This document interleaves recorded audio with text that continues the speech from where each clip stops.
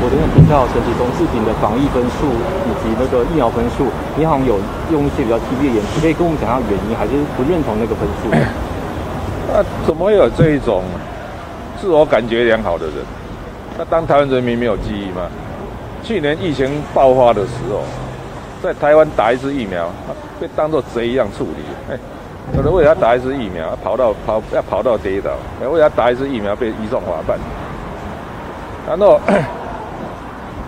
我最生气的就是，他他不是变了八千四百亿的防疫特别预算吗？他怎么买不买不到疫苗？那你说，你说最后搞到那个什么什么立陶宛的斯洛伐克，他们不但买到疫苗，还有剩下可以送台湾。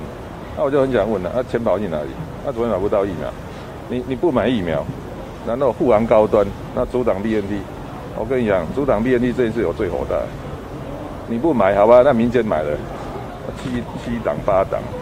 哎，你有没有把台湾的人民的生命当做一回事？